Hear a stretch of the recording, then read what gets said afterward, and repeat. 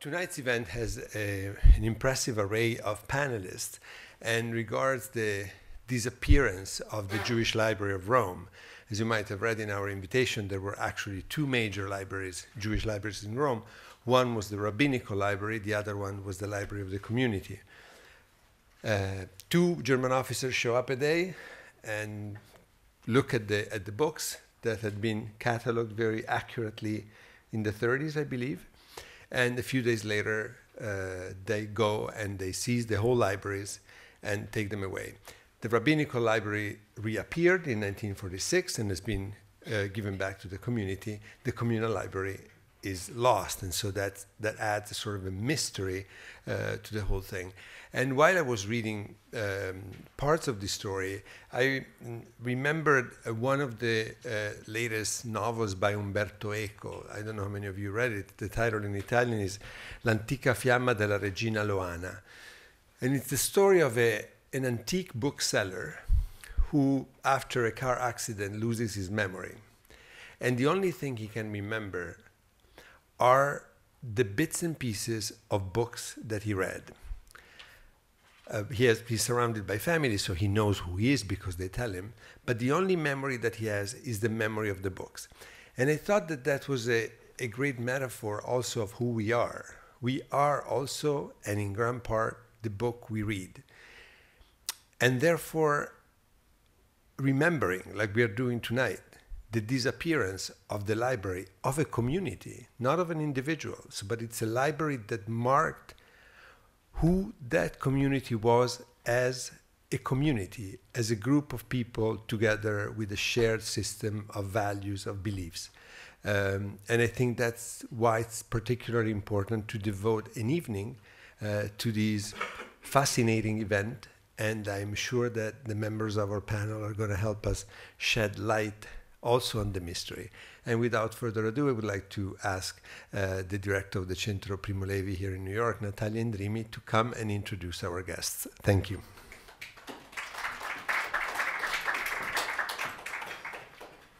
Thank you, Stefano. You said the essential things on the meaning of this program and the reason why, for many years, the Centro Primo Levi has been uh, very interested in uh, uh, the fate of the library and understanding um, why um, the research uh, through over 70 years was so scarce and late. On September 30th and October 1st, 1943, two German officers visited the building of the Jewish community of Rome. They headed to the third floor and um, asked for to be shown the rabbinical uh, college library and the communal library. The two collections were held uh, together and uh, represented in different ways uh, the history of the one of the oldest, maybe the oldest Jewish community of Europe, and above all the community that uh, had dwelled in the same city that was that had been the that was the capital of Catholicism. So a very uh, delicate history, a very a, history that was regarded as symbolic um, by not only um, other Ju European Jewish communities, but also by um, European uh, societies at large. It is estimated that the library contained about 5,000 volumes, include, including valuable uh, manuscripts, incunabula, and Cinquecentine.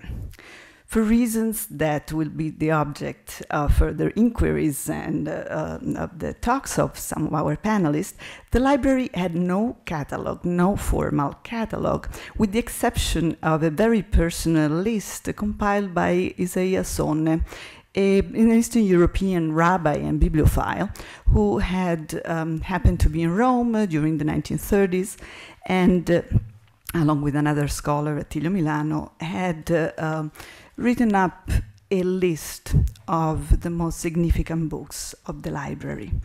Uh, Sonne, in 1940, following the racial laws, fled to the United States, where he lived uh, for many years uh, teaching at the Hebrew Union College. Interesting enough, we have no recollection by Sonnes about uh, um, that we know of about these events. This panel aims at opening uh, new avenues of historical inquiry on the content and history of the library as it emerges not only through what we know of the post-war period, but also through the registers of Inquisition censorship, of community chronicles, and other historical sources dating back to the 15th century. I think that this aspect is probably the most uh, original of, um, um of all the investigations that have been conducted so far, to really look in depth at what this library meant what kind of community it reflected, what kind of community witnessed its disappearance, and what these losses meant over the course of 70 years. And of course, as I said initially, why the library was really never looked for. On that first day of October 1943, the German officers examined the, examined the books. On October 11th, so 11 days later, they returned and announced that the libraries would be seized. Two days later, two German officers walked into the building and, uh, accompanied by a group of uh, movers, transferred the library onto trucks. The accounts of the days vary. Um, I recommend a, very um, insightful book by uh, Giacomo Debenedetti uh, that that has an is a book is pub- there are two books published together, uh, October 16, 1943, and Eight Jews, which um, has a short chapter but very insightful chapter on the seizing of the library. In 1946, the Allies located the rabbinical library near Frankfurt and facilitated its, its return to Rome in the early 1950s. No trace was ever found of the Jewish communal, uh, communal Library of Rome. Although various investigations were conducted, the last in, in 2002, following a recommendation of the Anselmi Commission on the confiscation of Jewish assets, um, its fate remains obscure to these days. Over the years, hypotheses multiply, and at least few volumes have been found in Holland, and uh, at the JTS library here in New York.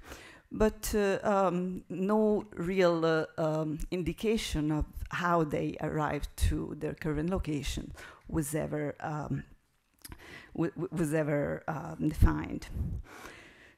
The Research Commission, which was known informally by the name of the then president of the Italian Jewish communities, Dario Tedeschi, as the Tedeschi Commission, was formed, was formed by 14 members 12 political representatives and two historians, Michele Sarfatti, the director of the Center for Contemporary Jewish Documentation in Milan, and Mario Toscano.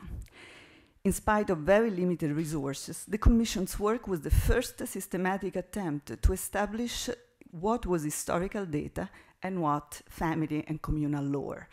Um, something that is interesting about uh, this, the disappearance and the, especially the, the testimonies of the day of the looting is that there is a, a, tremendous amount of family anecdotic and communal anecdotic that uh, uh, through the years has overlapped and become intertwined with uh, um, historiography, but certainly was, uh, it was a very important step, although it was done very late, to uh, sort out what was one thing and what was the other. I wish to only highlight some of the achievements of the Tedeschi Commission.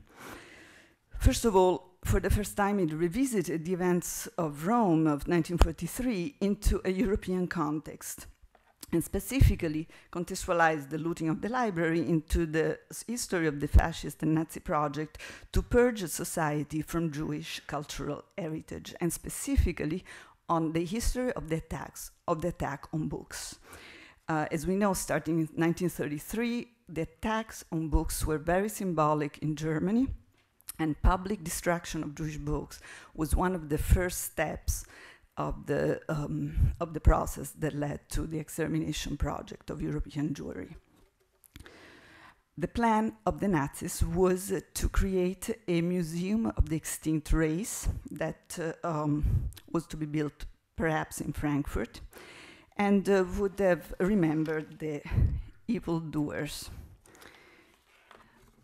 of uh, European history. From, there are two important um, elements that, as ironic as it might seem, emerge from the report. Uh, first of all, there were many European, uh, there were many German agencies that operated in Italy in the confiscation project.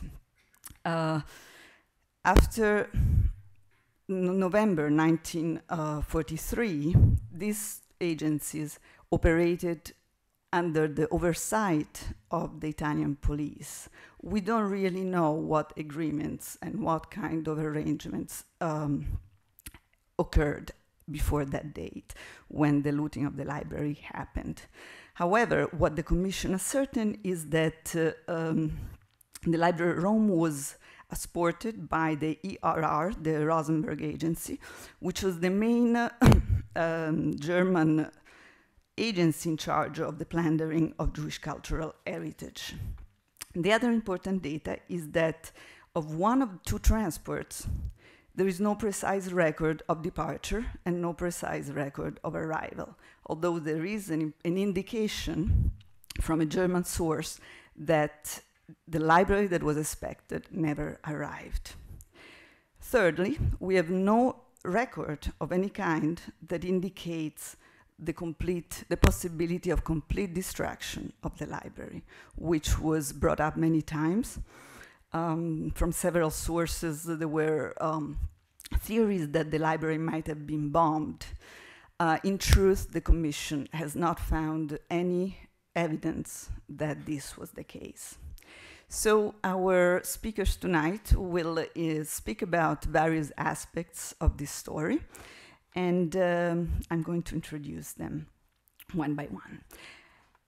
Agnes Peresztegi has been the executive director of the Commission for Art Recovery in Europe since 2001. She's a member of the Advisory Council on Nazi confiscated and looted cultural property of the European Shoah Legacy Institute and has been a legal instructor at the Provenance Research Training Program and at the Israeli Forum 2014 at Ashava. Peresztegi is also a member of the Schwabing Art Trove Task Force established to review the artwork found in Cornelius Gurlitt's home, which may have been confiscated by the Nazis their, from their legitimate owners.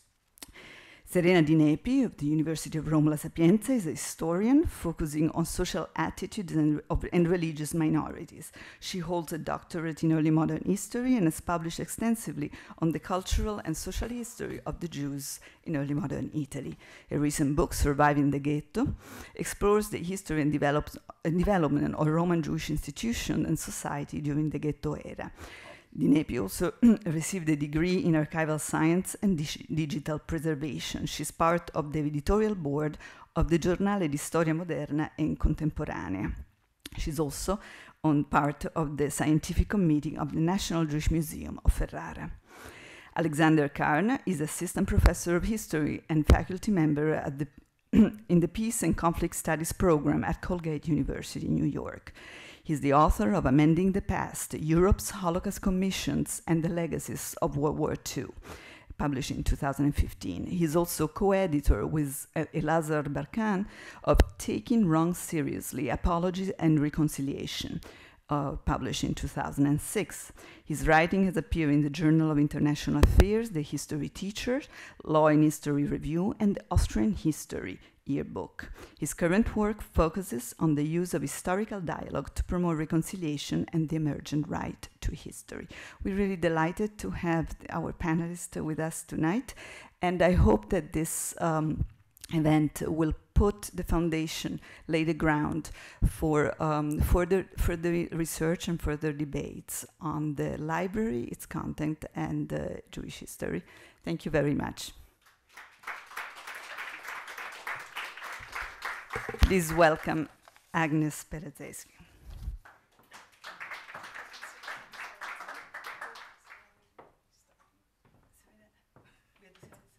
Doesn't matter. Um, dear ladies and gentlemen, I was asked by Natalia to speak about the legal aspects of recovery and how the investigation on the lost library of the Rome Jewish community fits the larger European landscape. But to be able to do that uh, and to talk about recovery, I think I have to give you a short summary on the Nazi looting of books and libraries because it's somewhat different from uh, general looting practices. I'm sure many of you have seen Monuments Men and read the news regarding art looting in connection to the Gurlitt Trove recently uncovered in Munich.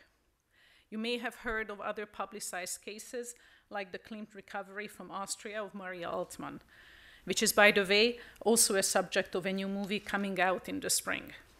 Uh, but in my experience, except for the Schneerson Library, the Chabad Lubavitch Library, uh, there is very little information available about the fate of lost or recovered libraries. Although the story of the lost Roman Jewish library should be a movie project in itself, and hopefully, after our research, a very uh, open and, and happy ending one. While describing uh, the spoliation of Jewish culture and religious property, including books and manuscripts, which was part of the official Nazi campaign, I'm relying on the scholarship of Patricia Kennedy Grimsted of Harvard University, Dov Schidorsky uh, from Israel, and also the research that's done by the research arm of the Claims Conference led by Wesley Fisher. Between 1933 and 1945, numerous Nazi agencies were responsible for what can be called the greatest theft in the history of humanity. While we have an understanding of a well organized German effort, and I'm sure all of you heard about the list and the meticulous ways how the Germans deported Jews, uh, the spoliation of the Jewish property was carried out in a less orderly fashion. The main reason for that was the rivalry among competing Nazi organizations who all wanted to take as much as they could. The two main looting agencies were called the Reich Security Head Office, or RSHA, and the Einsatzstab Reichsleiter Rosenberg, the ERR. The RSHA was primarily active within the German borders. Before it was established, its activities were already carried out by the so called Special Command Paulsen and the Gestapo. The Special Command Paulsen, for example, collected the holdings of Berlin, Breslau, Hamburg, Dresden, Munich, and Frankfurt, rabbinical seminaries, and libraries from Krakow, Warsaw, and Lublin. The police also cooperated with the RSHA, and it became one of the more significant agents of the looting of Jewish public and private library collections under the Nazi regime.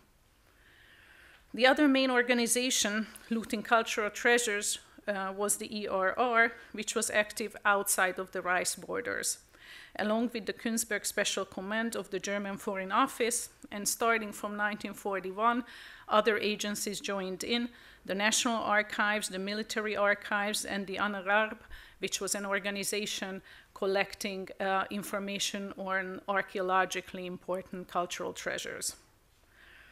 If you have seen the Monuments Men, you may remember the infamous ERR collecting the treasures of French Jews. However, Rosenberg activities were not confined to uh, fine art. He had special units for other types of objects. For example, he had one uh, special task force for music, and, and he collected musical instruments and scores across Europe.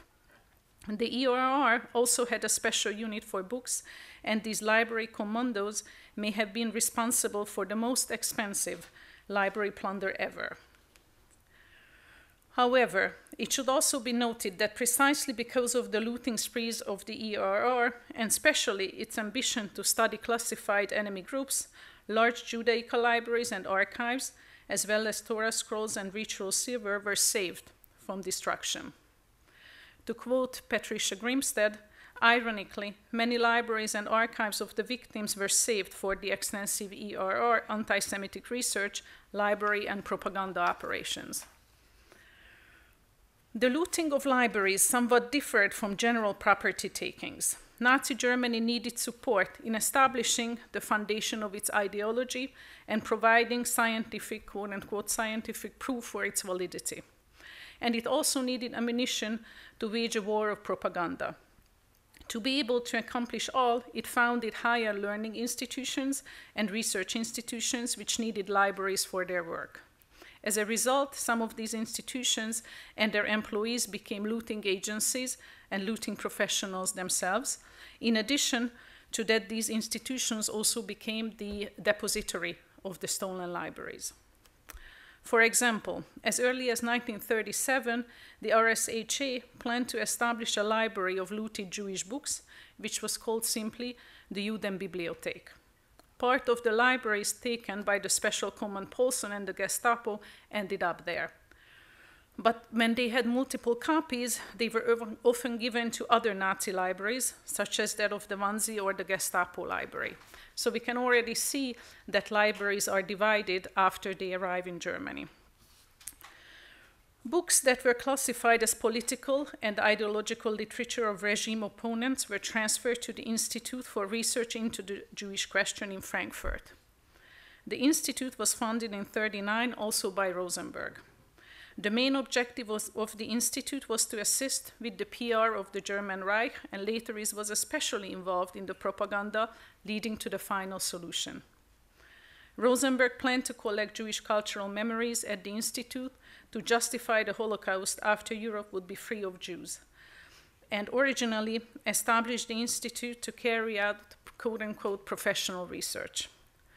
During heavy airline bombings in August 1943, an effort was made to bring the collection of the RSHA to safe depositories. While over a million books of the RSHA's book collection were evacuated to the Sudetenland from Berlin, most of the Hebraica books were shipped to Theresienstadt, where Hebrew scholars were assigned to classify and catalog them. The Institute for Research into the Jewish Question also had to be moved in the summer of 1943 for the same reason, and it was moved to Hungen. By 1943, the library already had hundreds of thousands of volumes. Among these holdings were books that came from France, Amsterdam, Brussels, and as far as from Greece. In turn, the Institute became one of the finest Jewish libraries of the continent. The Institute also received loot from occupied Soviet territories, such as Hebraica from eastern Ukraine and Belorussia. More Judaica came from the Baltics, especially from Lithuania.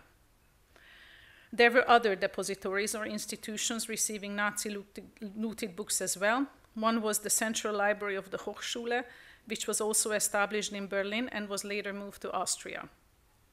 Additional organizations were, for example, the Institute for Biology and Race Theory in Stuttgart, the Institute for Religious Studies, and the Institute for German Folklore.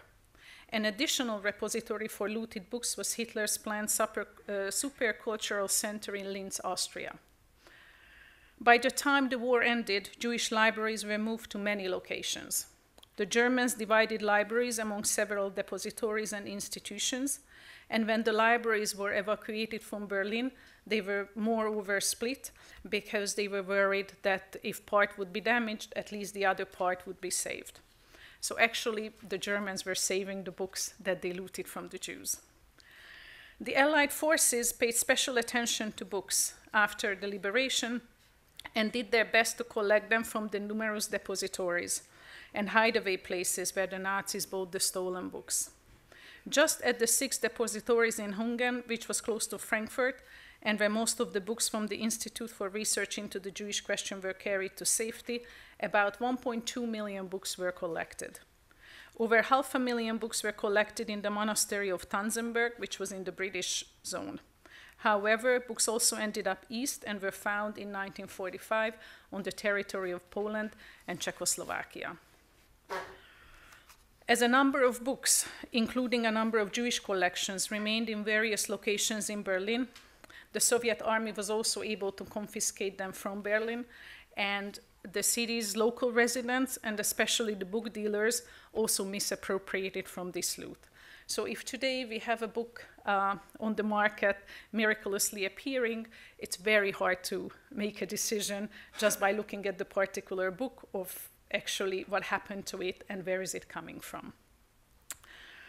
In 1943, in anticipation of the huge amount of Nazi war loot, the United States appointed the Roberts Commission, which established the Monuments, Fine Arts, and Archives program. Um, during this program, the monuments men were collecting everything that they found at different depositories, and after sorting out everything, they established four main depositories which were specific um, in Munich, Wiesbaden, Marburg, and Offenbach. Offenbach became the depository point when the books were brought. Some of them were also brought to Wiesbaden, but they were mostly the German origin books, and they were returned to Germany. Because of the sheer number of objects held at the Offenbach archival depot, identifiable or not, it was commonly called the biggest book restitution operation in library history. The estimate goes as high as 3 million volumes. American civilian and military leaders had to determine the restitution policy of cultural property, and the decision was to return them to the country of origin, where the property was originally taken from, as long as uh, it was clear. Uh, they also made the decision not to return uh, objects to individual owners. While this procedure worked relatively smoothly and well for most art objects, there was a problem with returning Judaica to countries. Many of them had basically no Jewish communities left, and also to return uh, books and other valuables to the, former, to the Soviet Union. Uh, at the end, under the leadership of Bernhard Heller, millions of books were returned to their country of origin, and those books whose origin was not possible to identify were handed over to the Jewish Cultural Reconstruction. Um, just uh, a few sentences about this organization because it comes up regularly when we deal about looted books.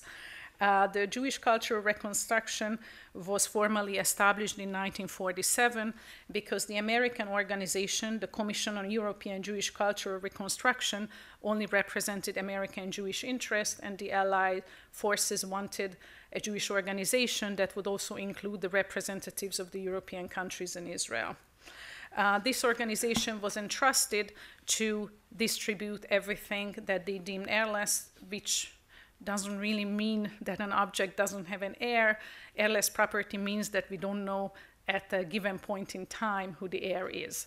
So anything that was difficult to identify and um, uh, would have taken uh, you know too much time or there was no hope or the community was thought to be uh, uh completely wiped out uh, this organization took the responsibility to distribute them around the world uh, many of the books ended up at the Jewish Theological Seminary in New York. Many were, was, uh, many were, of course, sent to Israel, to the Jewish National uh, Library, and uh, some of them were distributed to other institutions.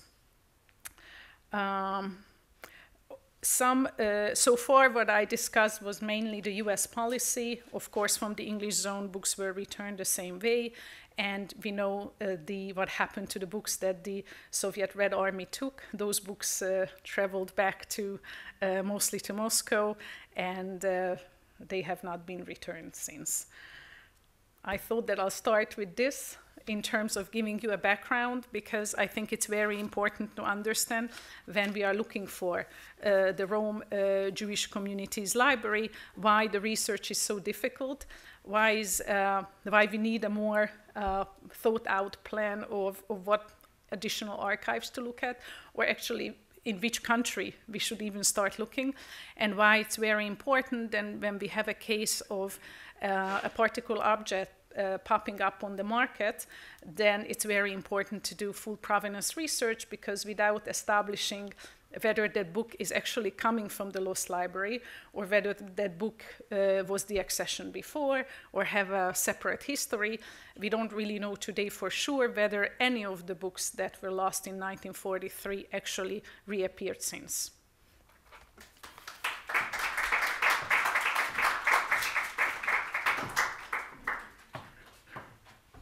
Thank you, Agnes. This was uh, very interesting and very um, comprehensive. It really gave us a sense of what the stakes are and how the history of the search of this library uh, fits in the broader European context and what we are looking um, when we, we, uh, we're looking at when we plan uh, a, new uh, investigation.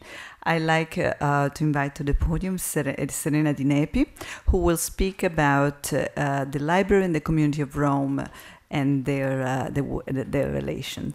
Please welcome Serena Di Nepi.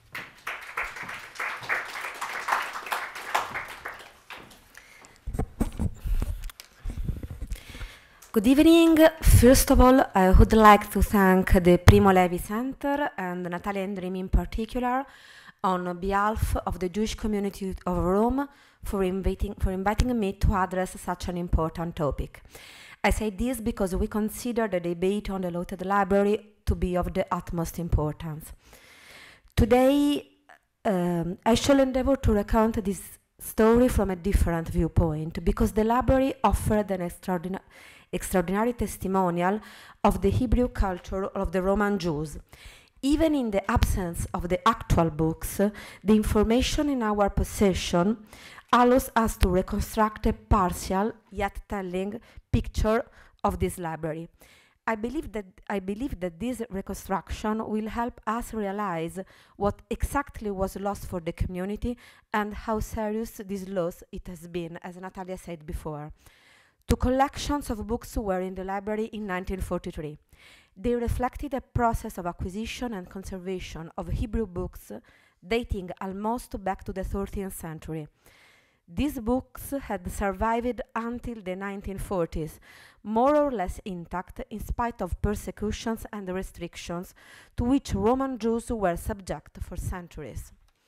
I will dwell on the bibliographical heritage that still exists and on the clues that it offers us with regard to what is missing, on what is no longer there but about which we know a few things, and lastly, on what we can only imagine, thanks to information that surfaces from the archives, including, as ironic throughout it may sound, records of the Roman Inquisition and the Index, both of which are kept in the Vatican.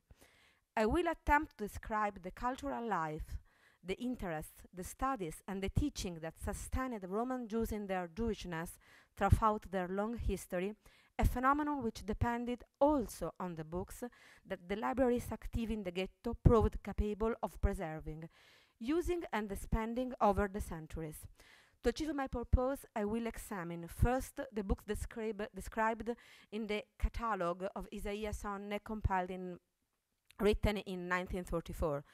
And then the Giovanni Antonio Costanzi Index of Jewish Books, which describes over 700 titles discovered in Italy's ghetto and considered problematic in 1742. I begin with the Sonne catalogue. The Jewish library, or rather, as we have seen, the two Jewish libraries looted in Rome between October and December 1943, had no modern, up-to-date catalogue.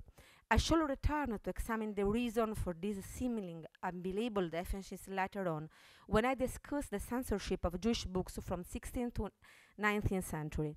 Working in the archive and the library for only three days in the company of Attilio Milano in 1934, Isaiah Son compiled a partial and subjective description of the material that was shown to him, highlighting certain aspects of it that are worth recalling. Attilio Milano was the historian and the archivist of the community. He invited Son, a friend of him and a well-known philologist and historian, to have a look both, both on the library and the archive. The catalogue by Isaiah Son was the result of their cooperation. As Son himself tells us in the first few lines of his report, the encounter with the Roman books proved to be the, of the utmost interest, but it also proved to be something of disappointment for him. Sorry for it. I, every time I be very anxious when I speak English. Sorry for him.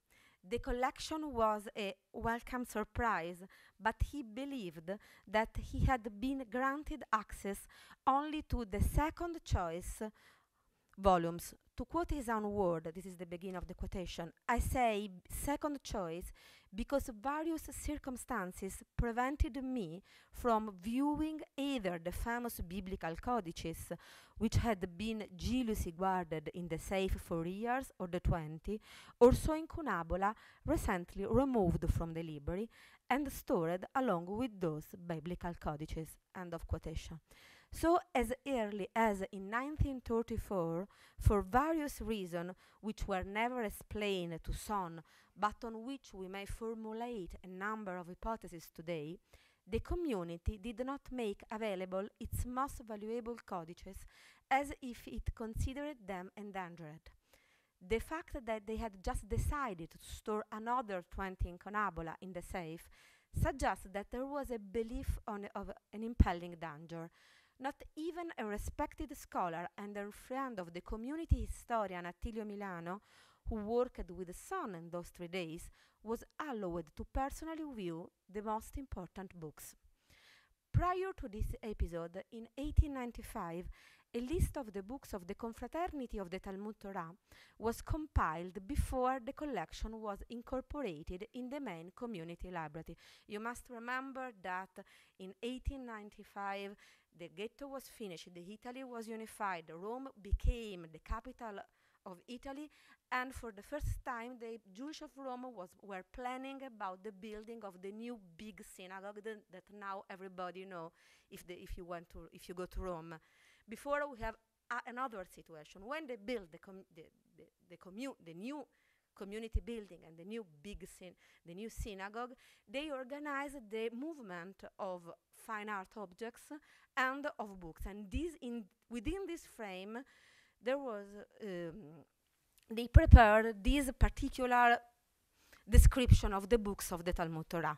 This list, including only 3,156 books, was drafted in Hebrew using Italian rabbinical italic script and later updated with two appendices dated uh, 19 uh, and 1902 respectively. It is not a catalogue in the real sense of the word because it contains only the titles and the press mark of the books, but does not list the authors, the city, and the year in which they were printed.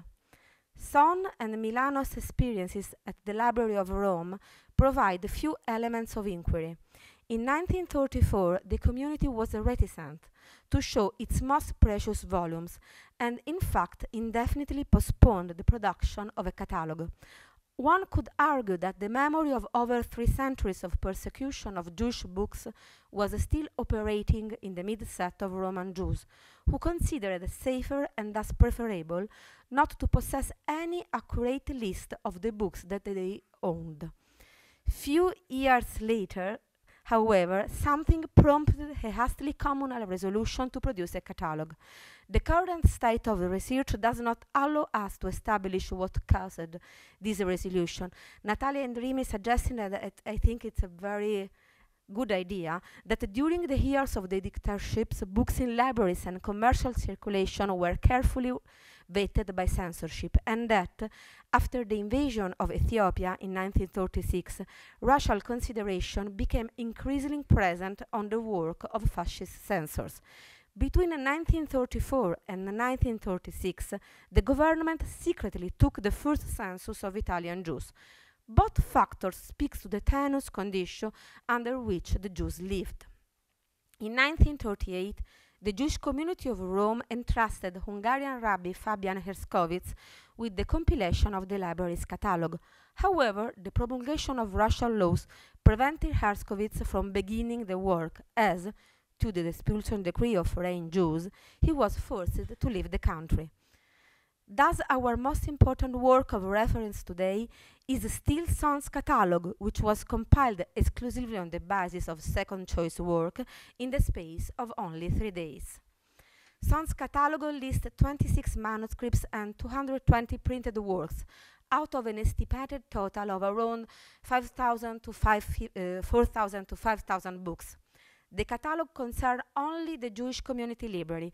In other words, the library put together with books from all the libraries active in the ghetto until 1870, namely the libraries of the Skole, the congregations, and more especially the library belonging to the confraternity of the Talmud Torah. The other library that was looted, the Italian Rabbinical College Library, requires separate treatment. After the war, this is the library that was recovered in part at the Offenbach depot and returned to Italy. Sonne divi- divided his catalog into five categories of entry manuscripts, incunabula, works printed by the Soncino brothers, 16th century Levantine prints, and books he, consi- he considered of a unique nature. It is worth pointing out that Sonne added the last three categories, which are somewhat unusual in a library catalogue and all of which are related to printed work, after he realized he could not see some of the books. Sonne had hoped to see grammatical works of the circle of Egidio da Viterbo, which he did not find or which were not made available to him, and decided to highlight other interesting aspects of the collection. With regard to the manuscripts, Sonne stressed that at first sight this was second class material.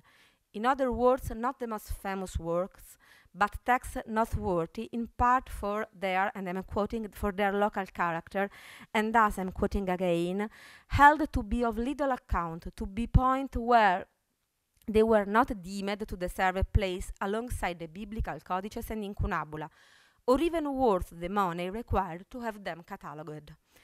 This local character is crucial to our own purpose, and so we should examine it a little more carefully. On the one hand, these manuscripts from the Skole and the Ghetto and, of the, and the confraternity of the Talmud Torah would appear to point up the interest surrounding the debate, the study and the conservation of a unique Roman custom, while, on the other, the absence among these same codices of a manuscript of the Roman prayers book, the Mahazor, seems to point to the opposite direction. As Sonne himself points out, it is likely that wherever a printed edition replaced the manuscript, the latter tended to gradually disappear. The replacement of manuscripts with printed works in the ghetto is not surprising. The lack of space, strictly oversight, censorship, and confiscation all made life difficult for private collection, and this consideration played a crucial role in the establishment of libraries during the ghetto years. The notes on ownership, sale, and copying in several of the books quoted by Sonne tell meaning- meaningful stories, with women playing the leading role in several of them. Of the utmost importance is the volume indicated by the number 22, Sefer Zikronot, Book of Memories, regulation of the library of the Talmud Torah in Rome, with catalogue drafted between 1718 and 1791, followed by another drafted in 1816. These books, uh, as the title says, refers to a catalogue drafted after the looting of 1733, to which I shall be returning later on, and composed at a time when, on a more general level, interest in archives and libraries was increasing in the church state. A long series of descriptions of archives concerning numerous Roman institutions, including, of course, the city's Jewish institution, dates back to this era. The next volume, number 23, goes into greater detail. I say I'm quoting again. Index of the archived documents and summary of the decrees of the community, the Keilah Kadosh, done in the year 1718, mostly written in Italian, but the summary of the Jewish books is written in Hebrew. The index, like the summary of the books, begins at the start of the 17th century. It is significant that among the first deliberation deliberated, we find one dated 1617, which states Whoever owns writing, writings referring to the community is bound on pain of cherem, the excommunication, to hand them over by, so that this from this day on all the members may use them. I'm this is the end of the quotation. The deliberation was confirmed in 1639 and tells us of the time when the community's public collection were put together, although the books for personal use, such as prayer books, were obviously excluded from this process. It is difficult to be sure exactly what was meant by writings referring to the community. What transpires from this process is that the books were regarded as a communal assets and therefore entrusted to the collective care of the group rather to the than to the individuals. The difficult circumstances besetting the lives of the Jews in the Roman ghetto did not prevent collections from being formed and preserved over time, and even less did they prevent the careful daily use of books for learning. For years, the Jews of Rome were portrayed as deeply rooted in their city, but condemned to ignorance by the isolation and poverty of life in the ghetto. An analysis of the Rome Jewish library and its genesis disproves the image once and forever. The second main category of catal- catalog are the incunabula. They included, and I'm quoting again, a Portuguese incunabulum of 1494, extremely rare, and an equally rare Hebrew-Italian Arabic dictionary printed in Naples in, Naples in 1488.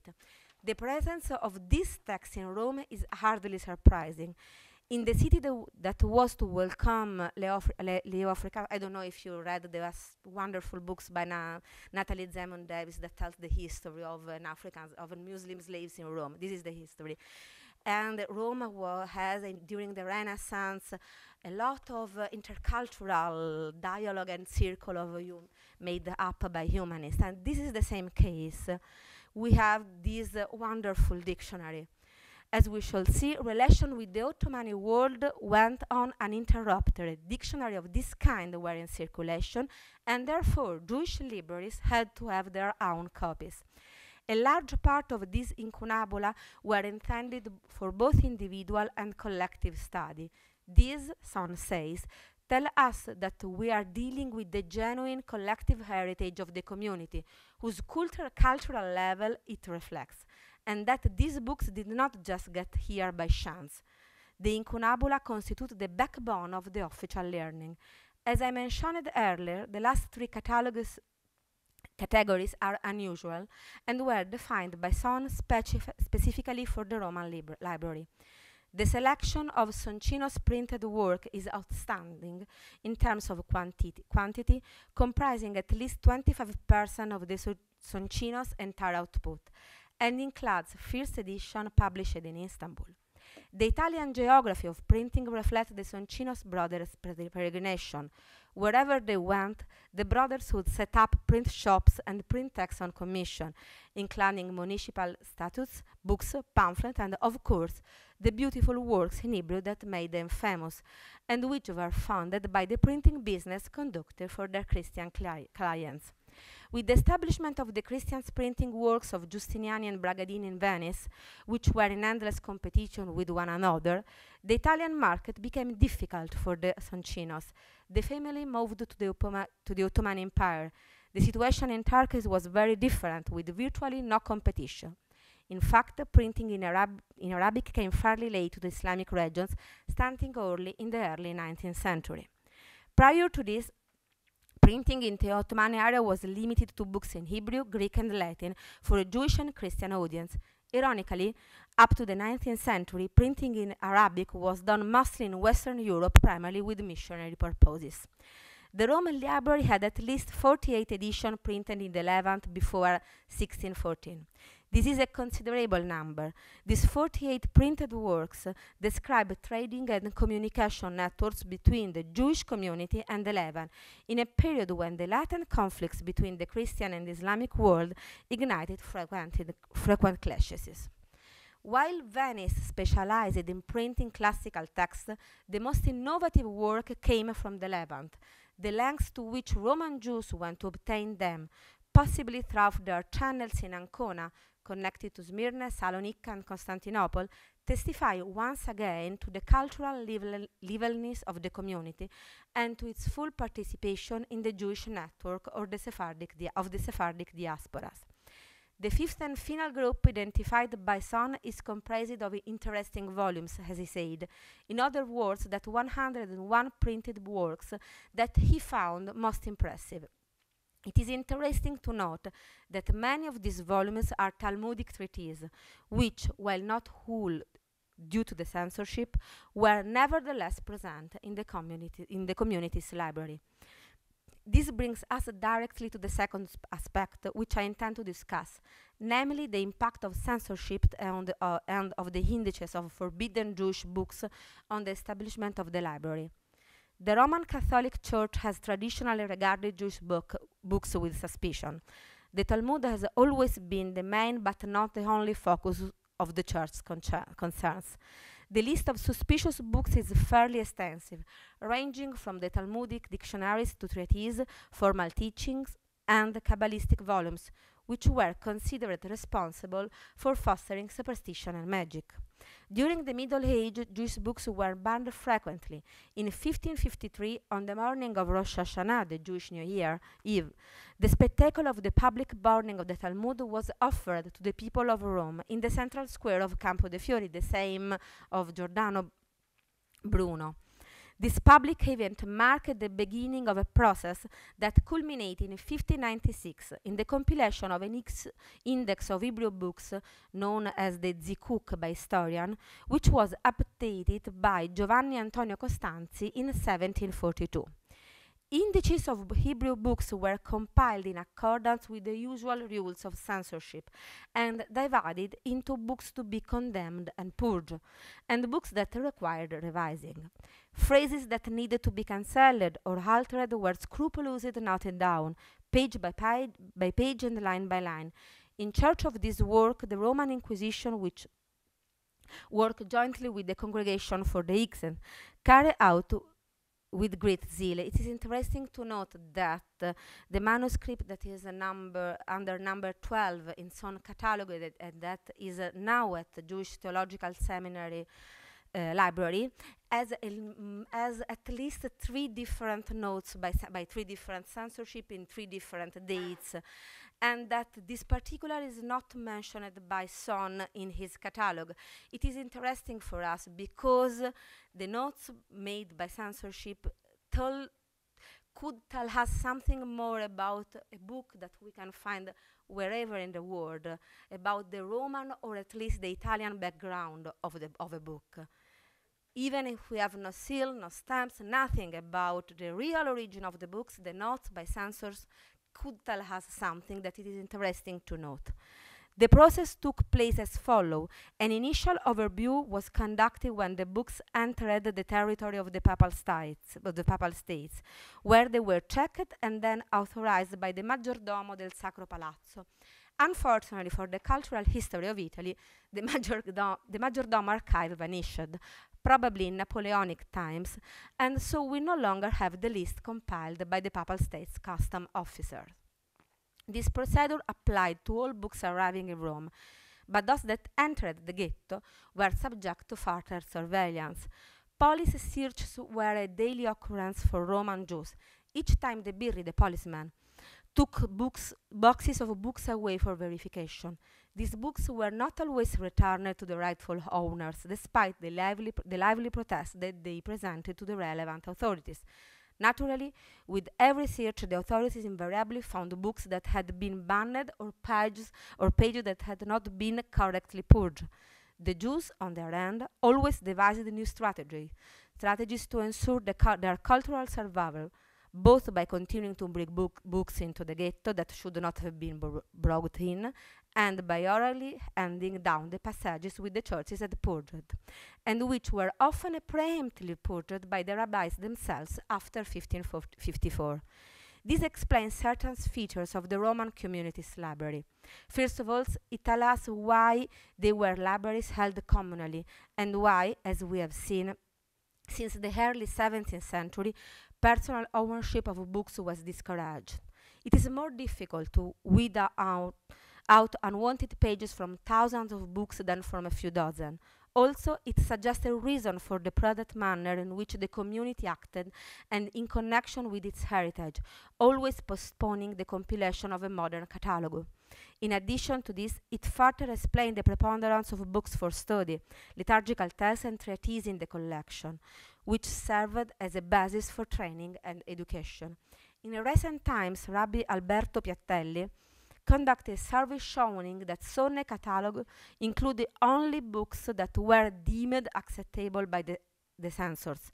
The Inquisition archives, however, indicated many questionable books were discovered in the ghetto of Rome, suggesting that Roman Jews were tenacious in defending their cultural, their culture and their identity aga against external aggression. Ironically, the record of that systematic aggression may provide for us essential information on the books we are looking for. In the absence of a complete catalogue and in the event of uncertainty over the stamp, the censorship notes provides important clues as to the books that form the looted library of, Ju of Rome. Only few books survived the looting since, as I say, had been hidden. They were all censored with preci precise annotation on more than one occasion between 16th and 18th century, and in many cases Son himself mentions the notes, but not in all cases. The names of famous censors and the dates provide unquestionable evidence that numerous volumes came from Rome, also, we should note that the Sant'Uffizio kept meticulous records of the titles of confiscated books, with all the details on their authors and on the cities in which they were printed.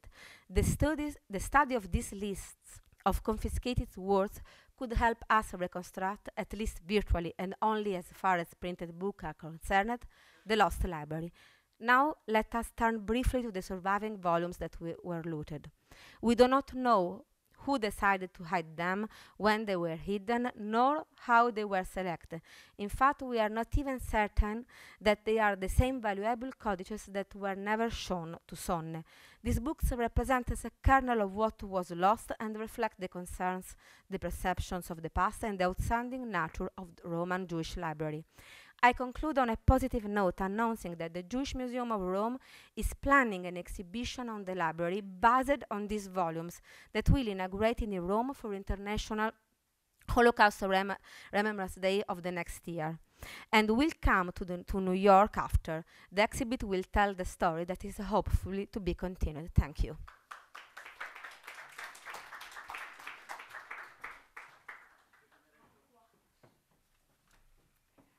I'd like to thank Serena Di Nepi for this uh, beautiful presentation that uh, gives us uh, um, some uh, food for thought. I think both presentations uh, allow for uh, interesting parallels in terms of the history of the persecution of the books, how it happened, and whether there might have been an interest um, fetishistic interest uh, or an histo natural historical interest um, in the way in by on on on the, on the part of the Nazi prosecutors of the book on the, concerning the the way in which Roman books had been persecuted in the past.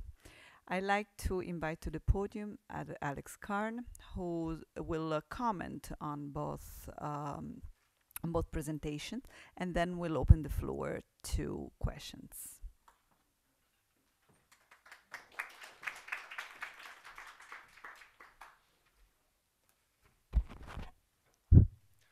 Well, thank you very much. I'm pleased to be here, and uh, I want to thank the organizers for uh, extending the invitation.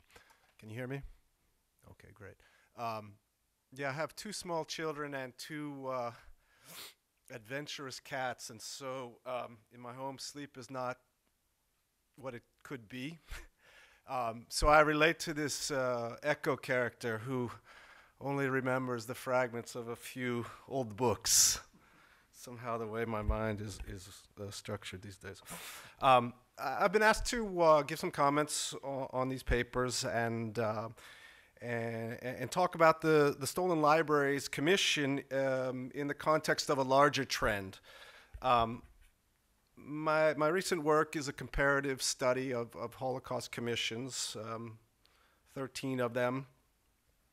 Um, this was not uh, uh, one of those 13, but uh, I'm familiar with the report and have read it. So um, I want to talk to you first about a kind of larger trend uh, to which this commission, I think, belongs. The United States Holocaust uh, Memorial Museum in Washington, D.C. maintains a list of 100 of Holocaust era assets activities with uh, approximately 150 different initiatives, most of them originating in Europe. Uh, most of these uh, have been oriented toward property restitution and to uh, the tracing and recovery of plundered assets, including artworks and other cultural properties. My research uh, focuses on a, a, subset of these initiatives, um, which are the historical clarification commissions, or sometimes uh, called the commissions of uh, historical inquiry. Um, there were several dozen of these during the 1990s and uh, 2000s. Some of them were official governmental commissions. Uh, others uh, arose through um, uh, through uh, uh, NGOs and other unofficial channels. Most of these commissions were, were national commissions, but there are also bilateral and multilateral commissions for us to consider as well. Uh, my interest in the commissions uh, extends beyond the clarification and fact finding missions they take on. I'm concerned primarily with how these commissions navigate between competing memories of the same events. Uh, the questions I ask relate to the potential of these commissions to contribute to conflict mediation, uh, which obviously isn't the only way or even the fairest way of assessing their work, just one way. Uh, which I've taken upon myself. Uh, what I mean here is that these commissions have tended to define their work in one way, uh, while my critiques, I think, pertain to what they could potentially accomplish if they were to rethink their overall approach to the past. Uh, to put this more, more concretely, I'm interested in what the historical commissions can contribute to historical justice. Uh, but of course, there are uh, different conceptions of justice for us uh, to consider and different ideas about how historical scholarship can contribute to justice. Restitution, which aims to recover stolen property and, and return it to its rightful owners, is certainly one important realization of justice.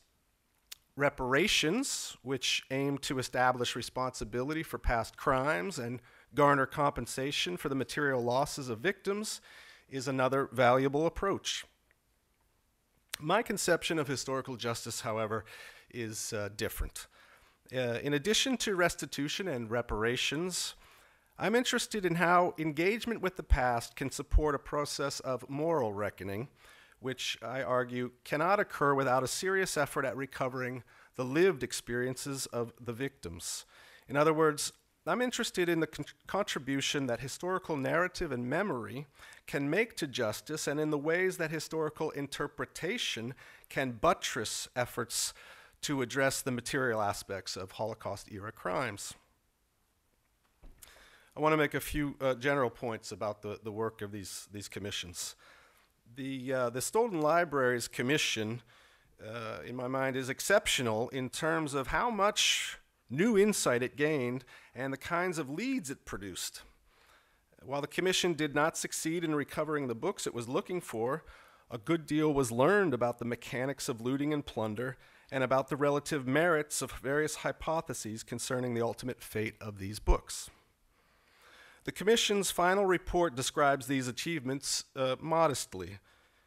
The research, according to the report, quote, throws a few gleams of light on the looting, paving the way for further research. Uh, it's a bit too modest from my perspective. Um, compared to the many historical commissions that I've uh, looked at, the Stolen Books Commission, I think, learned a great deal that was new. In fact, few of the Holocaust commissions uh, managed to unearth previously unstudied documents. Very few of these commissions make any kind of uh, uh, earth shattering finds. Um, it's more often the case uh, that these, uh, these commissions look at uh, documents which have been previously studied already. And so the fact finding dimension of these projects is, I think, frequently overstated. The majority of historical commissions have found the facts which were known to historians already, which of course doesn't mean that their efforts were for naught. The best historical commissions, I argue, aren't necessarily the ones that leave the archives with a trove of secret documents. Rather, some of the best work has entailed recontextualization for facts which were already known but whose meanings have been contested. The best historical commissions have linked Holocaust era plunder to the genocidal killing which such thefts facilitated. The Stolen Books Commission report asserts that systematic looting of European Jews was pursued by the Nazis, quote, in addition to their extermination. These two phenomena, the looting and the killing, are set alongside each other, but the relationship is still, I think, um, ambiguous. The Commission says in its report simply that the plundering was part of a wider political, ideological, and cultural agenda. Other commissions have uh, pursued this point more explicitly and more directly. In France, for example, the Mattéoli Commission asserted that Jewish spoliation was more than mere plunder. It was rather what the Commission described as, quote, a preface to genocide. As Antoine Prost, one of the Mattéoli historians, put it, spoliation, quote, spoliation was not just to eliminate Jewish influence in the national economy and to raise billions, it was also, by specific design, used to deprive the livelihood of thousands of ordinary people and make life physically impossible so as to make them literally disappear from the landscape course, there are important differences between the French and Italian cases, and I don't suggest here that responsibility for the Holocaust can be ascribed equally to all. I only mean to say that our understanding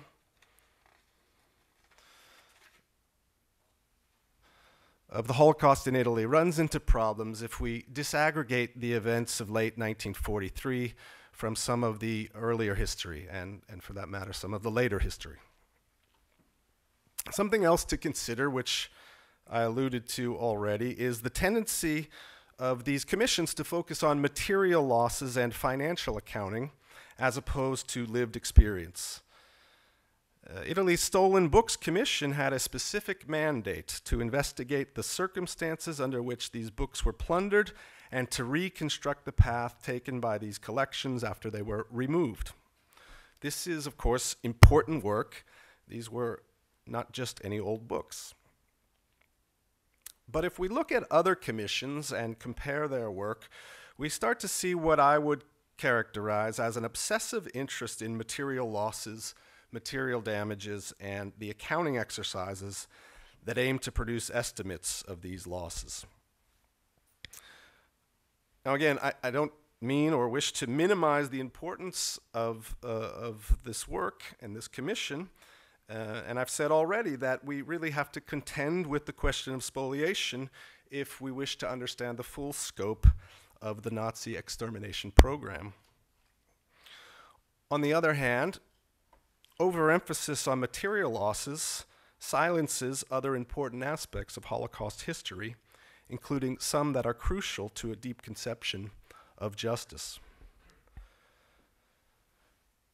The poster child for this, this narrow economic approach to the past is, uh, I think, Austria's Jabloner Commission.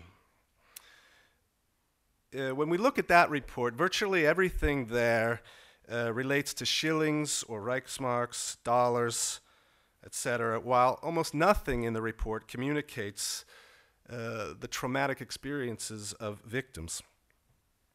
The best example, I think, is the Commission's work on Kristallnacht, uh, which the Commission presents as an assault on Jewish property.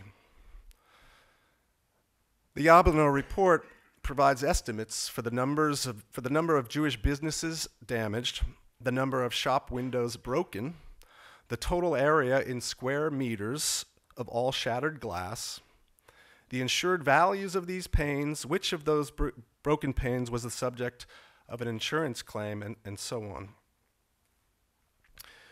whereas others who have studied Kristallnacht have used diaries, personal letters, and medical re- records to document a spike in suicide among Jews immediately following these attacks, the Jabloner report is silent on this aspect of the pogrom.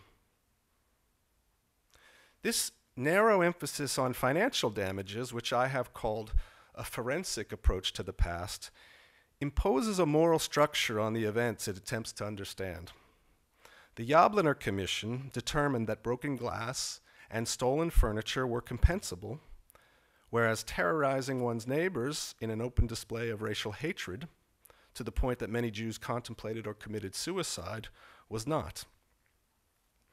This is an example of how methodological choices and historiographical orientation can silence key aspects of the past, even where the exercise is explicitly oriented toward clarification. When Clemens Jabloner, the, the, the chair of the Jabloner Commission, spoke to the media about the final report, uh, he said that the facts it contained would, quote, speak for themselves. In making this statement, Jabloner, I think, was attempting to raise the enterprise above the level of politics. This was his way of making a claim for scientific objectivity. But again, my claim is that the Commission's dry recitation of uncontroversial facts connotes a moral message, or rather, it signals a moral evasion, an unwillingness to contemplate the full meaning of the facts which it assembled. Other commissions have uh, run into more or less the same problem. Um, in France, uh, Claire Andrieu, who served on the, on the Mattéoli Commission there, uh, has described a strong feeling of discomfort at having to approach the past through a quote, scientific mode, which she says relies on statistics, percentages, dates, financial, and legal jargon. According to her, a more appropriate approach to the past would entail what she called, quote, a more sensitive discourse.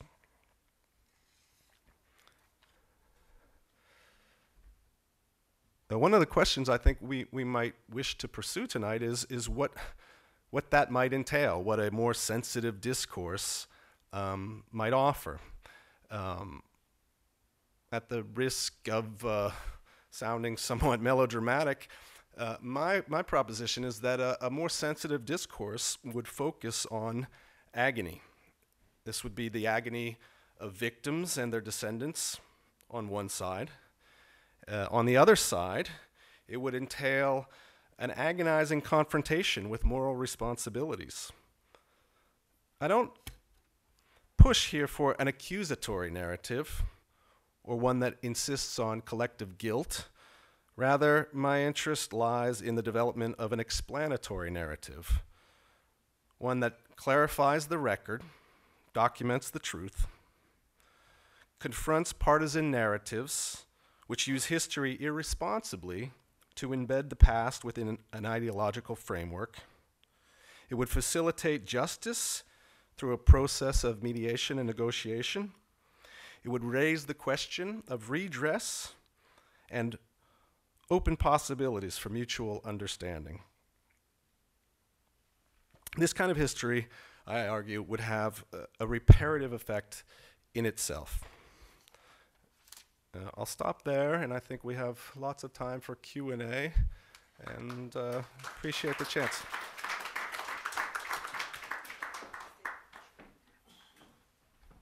Thank you, Alex. This was very interesting. I'd like to invite our guest to sit on the podium, so on the stage, so that uh, um, we can uh, have that we have.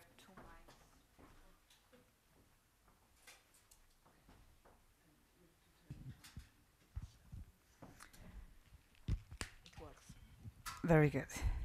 So um, unless someone has questions in the audience, here we have one, and then we'll. Uh,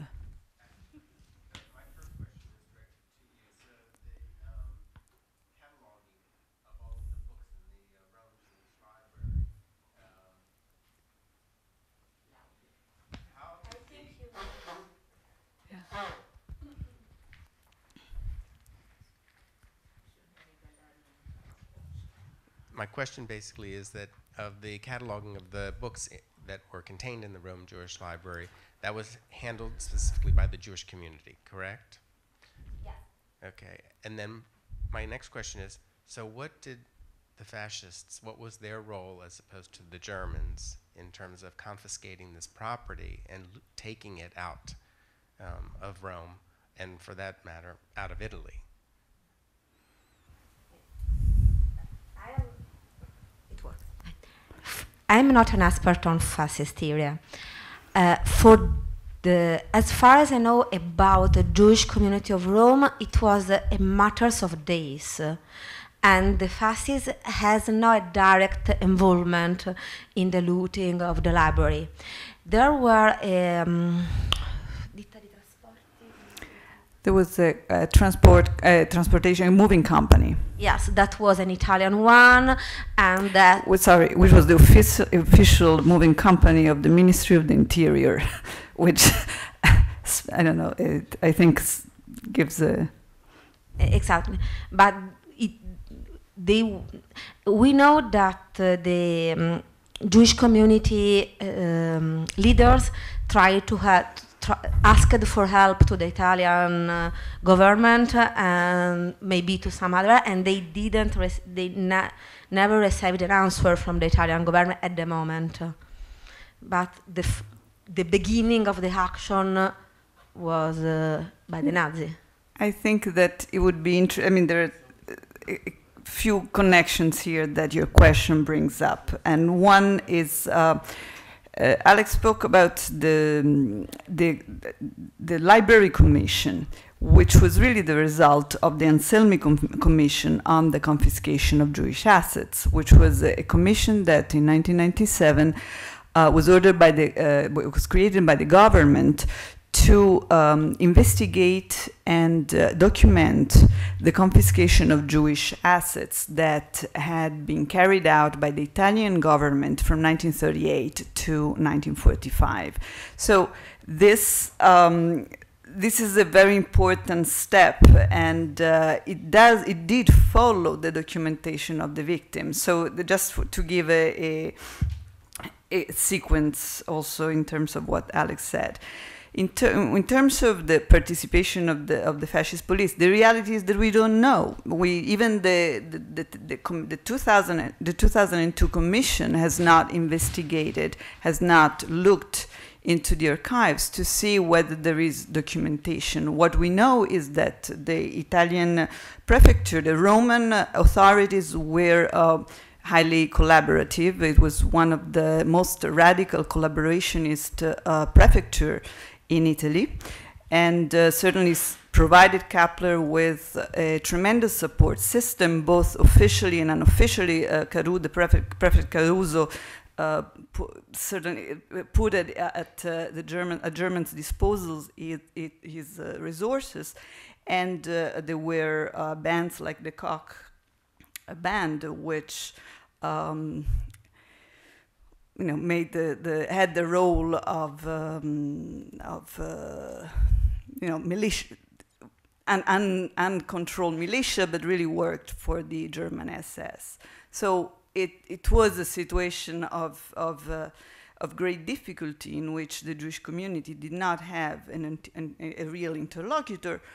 And also, and these are the two weeks in which the blackmail of the gold, where the, Roman Jews were asked for 50 kilos of gold to spare the community from deportations, and so that's the, these are the two. And these were the two weeks bef- before October 16th, in which uh, the this negotiation is is uh, carried out. So we don't we we don't know, and this is certainly one of the lines that uh, should be investigated. We don't know. I mean, we know that uh, both the president of the Jewish community of Rome and the Union of Italian Jewish Communities had um, exchanges with the Vatican, but we don't know what they were, and with the minister, Italian Minister of Culture, but we don't know what the. We don't have any record of it. Natalia, if I may, uh, what Agnes was saying also is that the, the difference in the destiny of the uh, fine arts patrimony and, and the book patrimony is very different. And um, the question is very interesting because, for example, in Ilaria Dagnini Brey's book, The Venus Fixers, in which she basically examines in, in great detail all the records of the dialectical relationship between fascist authorities and Nazi occupants regarding, for example, the uh, exportation or the transportation of Italian works of art from Italy to Germany. It's very interesting to see how these very uh, orthodox fascist uh, officers on a certain uh, level have these divided allegiance between being Italian and not wanting the Italian patrimony to leave the country and at the same time being allied of the Nazis. So in some cases she was able, regarding the fine arts though, I, I, I've never read anything about the books. The books are less visible. Books are in library, there are closed uh, spaces, but there is a very interesting line of research there because it's, it's proven that for the, for the monument uh, mm, holdings, the paintings, the sculptures, there were some of these prefects that were government authorities appointed by the fascists, ultra fascists, at a certain point decided not to obey the specific orders that they received from the Nazi occupants. But for the libraries, I really think that remains a great field of investigation, if I'm correct. Well, Stefan, I would say that uh, it's uh, Jew Jewish libraries were a good pawn also, and we cannot, with a good way to appease the Germans. And Because this we see in many confiscations all over Italy. But technically, after November 30th, the Italian authorities oversaw, except for the Adriatic littoral, Italian authorities oversaw all confiscations. The big um, questions between the Germans and the Italians were in, in the areas, in the special, you know, in area of special uh, war concern, like the Adriatic littoral in Trieste, Venice, in that Fiume. But And- And I have another question. Probably, I don't know, for Serena maybe. Uh, I'm, I'm from Mantua, in the specific case of the Jewish Library of Mantua, that is one of the most prestigious ones, especially for scientific and Kabbalistic texts, that remain intact simply because it was given in deposito by the Jewish community of Mantua to the public library of Mantova, and then somebody there uh, didn't include it in the official catalog, so there was no record in that moment that the library was there. So that was spared, and that's the reason why it's still intact. I wanted to know whether there is a record of any other similar case in which special uh, dealings between the local Jewish communities and local library authorities or, or local city authorities were able to save uh, Jewish libraries, or if it's a unique case for Mantova. Even in Rome, they gave something to the Casanatense library, and there is probably something that, i- i- among the few books that that survived the, the the winter of 1943-1944. I think that even for this case, we need to come back to the Ro- particular Roman experience. It's hard to think that Roman Jewish communities could uh, trust public library in Rome that at the moment were public but had an, an ancient Cath- Catholic origin. Uh, all these very important public library in Rome that are the Casanatense, the Angelica, the Vallicelliana library, and all of these library has today very important Jewish collection of ancient prints and incunabula today are libraries that were made up by cardinals uh, in the ancient times. So I think that for Rome, the idea of a difficult memory to a very recent past is important to understand what they, do, what they did and what they didn't want to do.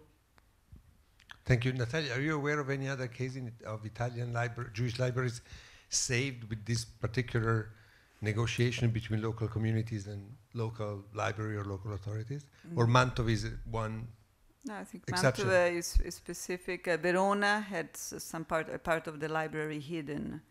Um, I don't think in another library, but with uh, the the help of uh, um, local authorities. Um, I'm not aware of many others. However, there are um, many other Italian books, Jewish books, May that I- have not returned. They s- in Rome they succeeded in hiding the silver and the textiles. So they had they decided to hide something, and they decided to prefer the the art, the fine art collection that uh, w- were really important. Thank you. Is there was no doubt an interest of the Vatican to preserve such uh, texts. Uh, is there uh, i- is there uh, a trace uh, that the books actually left Rome? Well, there, part one transport is really not documented. It is not documented arrival. There, we have a letter from the German sources saying that the library was expected but did not arrive, and is not documented at departure. So I like to ask uh, Agnes, if possible, um, from yeah, unfortunately, I mean, a lot of the documentations, the problem is that when the first, when, after the war, there was no proper investigation. So we don't, we, like, it's not that the police went to Otto Rosoni, which was the official mover of the Ministry of the Interior, and said, Otto Rosoni, we're going to seize your, your documents because we want, no, nobody did this. So all we have is a letter from the director who says, we did this and we didn't want to do it and it was bad and maybe, you know, it, it, it, there is very little hard evidence of what may have, have happened. And certainly the Italian authorities have not volunteered. I mean, it is uh, kind of uh, puzzling that when you read this uh, report that was very well done, in fact, for what could could be done in 2002. There is not one piece of documentation from Italian archives and Italian police, Italian carabinieri, Italian uh, prefecture, and Italian Ministry of Culture, who, which we know was contacted by the community. So it's, uh, you know, there is a, certainly a big vacuum there. but uh, if you, I wanted to ask Agnes, if from, from the perspective of someone who has dealt with um, the search and return or not return, miss of the not return of many libraries in, in Europe, what do you see when, when you look at the situation of the Library of Rome? What are your observations, things that are, you know, um, that no, not just conjecture, but what do you think of the, the, the work that was done up to this time? It's a difficult question. yeah. Well, it's always difficult to judge someone else's research when you know we were not there and we have not seen the effort. I can tell you that it's very difficult to start a project because we know so little about so many different issues that relates to the Holocaust, even after 70 years of research. And let not forget that the first 50 years, most of the research uh, dealt with the human loss of, of the lives of the communities, of the communities' histories. The research was were not focused on property uh, and the issues that are uh, more relevant today uh, for many reasons. When uh, whoever returned uh, after the war, their main issue was to restart their lives. Uh, what happened to the community library was a, was a sad part of, of the whole, but they had much more pressing issues than, uh, you know, certain amount of manuscripts are missing. So the problem is that at the beginning, when the information was there, that information was not collected because there were much more important issues. Um, also, um, the last 50 years, unfortunately, most of the eyewitnesses or those who could have given us information passed away, so they are not around today. And therefore, it's extremely difficult to evaluate certain um, oral history, even if it's the oral history itself is documented, because the people are not there to be questioned. And many of these oral histories turns out to be more of an urban legend than, than something that could be substantiated as a fact. And some of those that could be substantiated as a fact, we don't believe because it just sounds so far fetched that uh, no one would believe that that's actually happened. Just to give you one example from my work, um, we were told by the then uh, director of the Museum of Fine Art in Hungary in the 50s, or we have an oral history that uh, he talked about in, in company that he saw in 1945 one of the um, a major Courbet work cut out from the frame, put on the hood of a Russian car and, and drove around the city because it was a lying nude and it was a pornographic image. And this is how the Russian soldiers passed their time. And uh, everyone thought that yes, it's a great story, but we also knew that at that time that director was uh, heavily drinking, and everyone assumed that it's one of those urban legends until we found the artwork in uh, Slovakia in 2000, and actually the story is true. So it's very hard, so many years after, to decide that some of the completely far fetched stories or possibilities about the Roman Jewish library is true or not. We will only know if we will follow all the leads. And uh, unfortunately, there are just way too many uh, archives and information to review.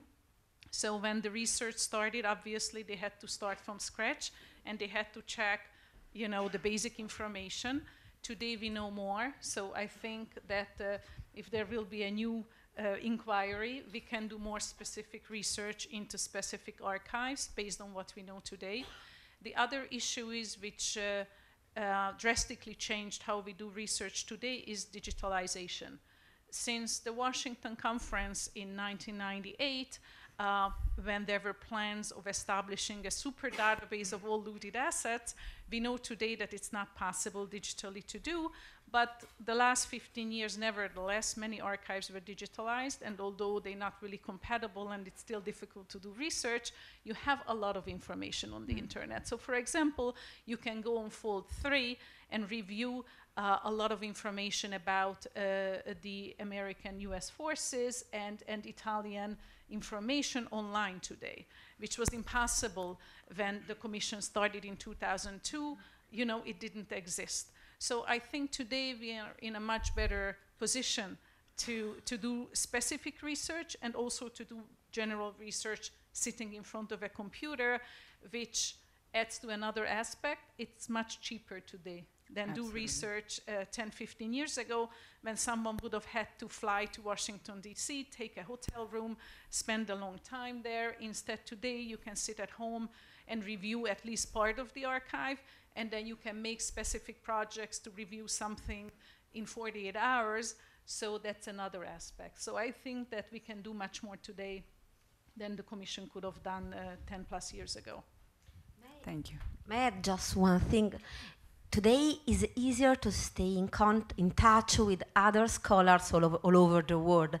Since we're beginning to uh, restart, to think to restart we are just thinking to restart. We have done, we didn't do nothing at the moment. And there were some articles by Italian newspapers about this idea to restart the research. And as the articles by Italian newspapers went out, a lot of different peoples mailed me and Alessandra Di Castro and offered to cooperate with us and told I know something about, I am an expert on this area. And this was impossible just 10 years ago, to stay so in contact with other historians and other scholars all over the world. Uh, if I may add something else, another uh, issue which is helpful today that, for example, uh, the Czech government uh, is willing to allow researchers into their uh, Prague depositories, which has uh, Hebrew manuscripts. So this is something that was not possible 15 years ago. Uh, I'm not sure that you will have more access in the uh, former Soviet Union's archive, but there is a possibility that you can review more things in Belarus today. So certain archives also opening, and but I have to say that some others are closing. So it's always very important that whenever we have access to to an archive, then then we do the most uh, when it's open, because right. uh, you never know whether you'll have the same chance a few years later. Okay, we have a question here and a question. I, was wondering whether there are two, two leads. There are two leads that uh, occurred to me, and I don't know if they've been uh, pursued. Uh, they're um, a a, um, a favorite uh, resting place for many works of this sort has been the Swiss banks, uh, and uh, so whether there th- there may be some way to act on in to investigate whether something found its way that way, and then of course. Um, a facilitator in this whole thing might have been through um, uh, uh, Rabbi Zolli and his daughter, who's, who I believe his daughter is still alive, and uh, she could be uh, potentially might have some information. Yeah, it's certainly remarkable that uh, Rabbi Zolli was never interviewed or was never w- n- uh, the position. He was the r- chief rabbi of the community. No, he was the chief rabbi of the it's a matter of community and converted after the war. And uh, even uh, at the time of these events, uh, there, the, there was a tremendous uh, community tension between him, who was of Eastern European heritage, and uh, had a completely different view of what the German occupation uh, would have, would mean for the Jewish community. Um, then what the the chief, the, the head of the Italian Jewish community uh, thought, uh, who was uh, a, a man who, was, who had been uh, certainly um, uh, um, hit by, by the racial laws, but uh, had belonged in, in, to the to the Italian establishment and even the fascist establishment, and uh, had some degree of trust in the city in which he had grown up. So it's uh, that tension certainly should be taken into account, and is both the reason why uh, probably Zolli was not asked, but also a, you know, a strong indicator that there may be um, a story there that uh, that we we will never know. We have a we have Two. a question here, I Just believe. one Claude, can you give this lady? One- One second to answer the Swiss uh, question. A, Uh, I don't think that Switzerland today holds large uh, Jewish uh, libraries or archives for many reasons. The way how artwork ended up in Switzerland is not consistent with how the libraries were looted. And also, the Swiss banks and, and depositories held uh, assets that could be sold on an open market. Uh, while an artwork is identifiable, still it has a value even if it's uh, questionable. And in Europe, there are many countries where claims cannot be brought again. So in those countries, these artworks could be uh, bought and sold even today. But Hmm?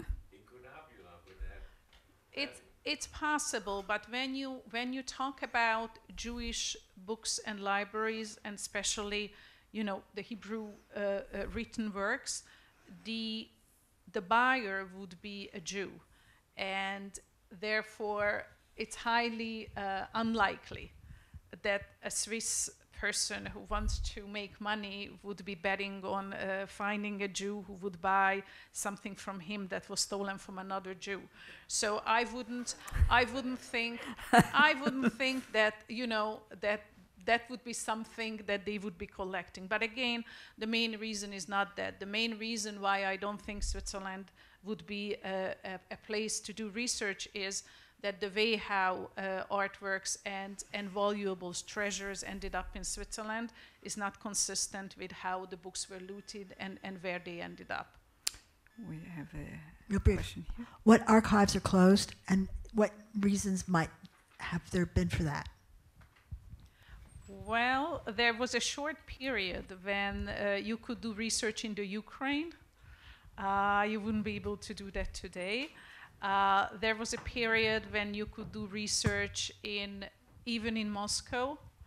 Um, one of the, the interesting anecdotes of why, for example, certain books would be uh, uh, not published on an official uh, library um, list is not only because it would be trophy art, for example, uh, in the Soviet Union, one of the reasons why a large part of the Breslau manuscripts were not listed at the Russian library was that they contained documents about the Jewish grandfather of Karl Marx. And in itself was a sufficient reason to keep these books off the official uh, reading list, even for Russian leaders. So you have all sorts of reasons why certain archives are not, you know, published or, or books are not published that they are at certain libraries. History changes, and then uh, certain issues are not so sensitive anymore. You would see this problem between, for example, Poland and Ukraine of uh, what they admit to have and what they don't admit to have. So um, again, uh, what you can access in a library today and what you can tomorrow, unfortunately, is changing back and forth.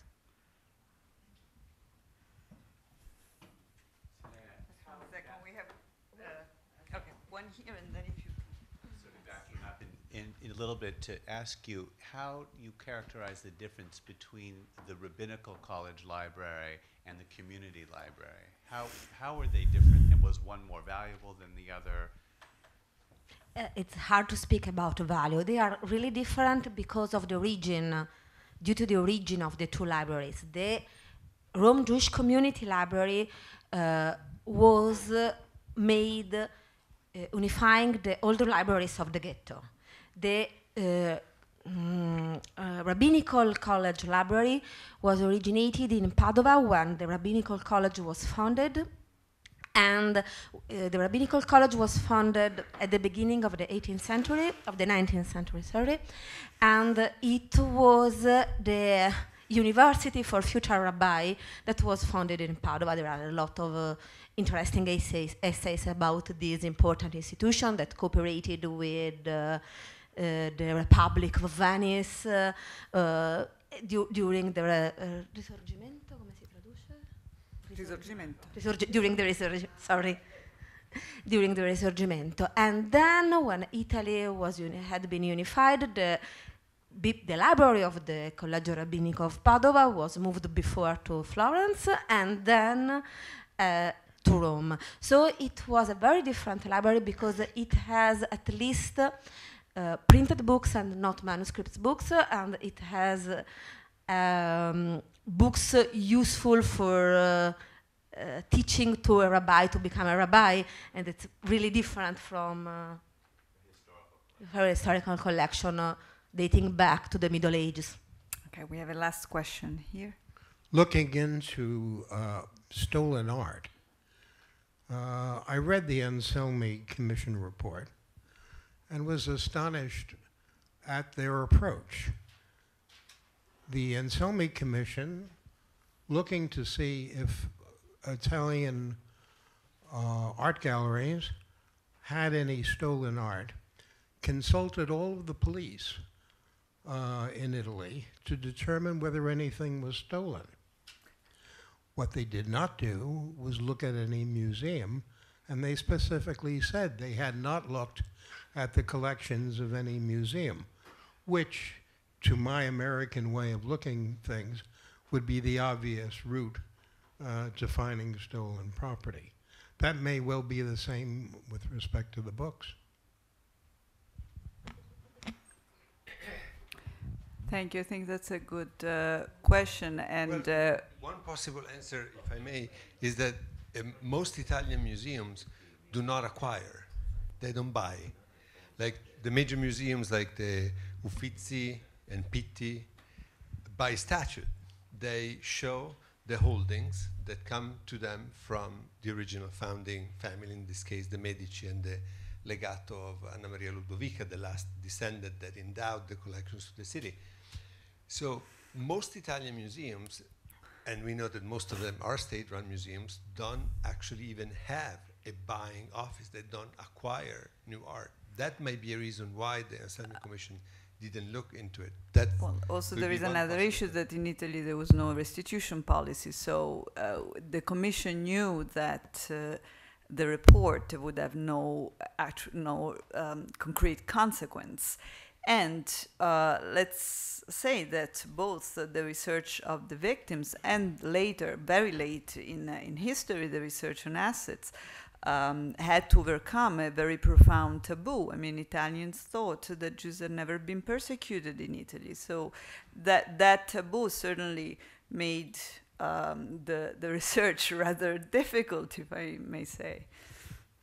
The, uh, the, the other, in, in terms of the books, though, the, um, the place where they could be uh, hidden without being noticed is uh, the, it's not so much in museums, but in libraries. and in it, from what I understand, the situation of public libraries in Italy today is, a disa- is disastrous.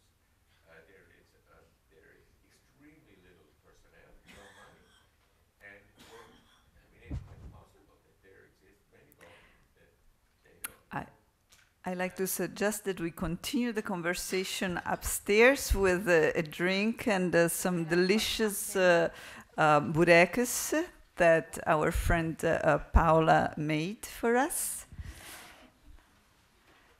And I thank our speakers. I thank Casa Italiana Zerilli Marimò.